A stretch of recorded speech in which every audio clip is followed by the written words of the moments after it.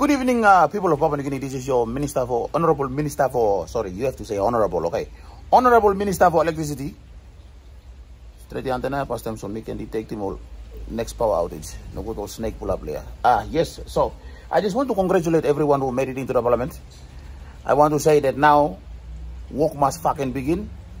We need to fight the fucking inflation because our people are working minimum wage and food prices are higher than our fucking life expectancy.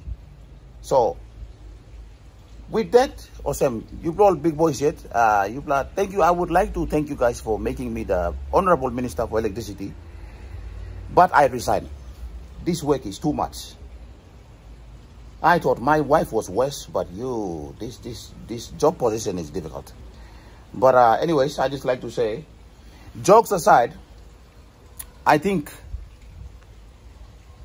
you guys need to do something about this inflation and apim uh, pay rate law all workman meri law country blumi all public servants people in the forces people who carry guns they put their lives on the line so you know maximize their income.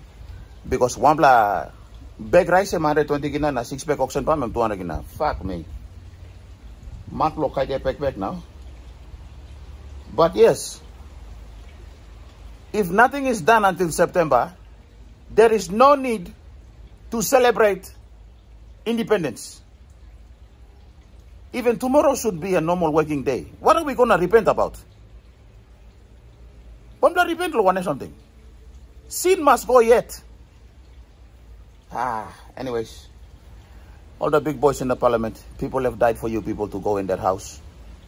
Walk and walk good like him you blogger you play you play too you play try best you play because you know uh, I, I don't know I, I don't know why I said you know but uh, love you guys and uh, keep up the good job.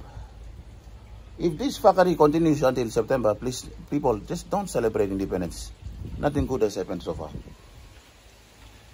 And our honorable minister for must be noticed. Please inbox me. We have to talk about some uh, big big things. 43 love you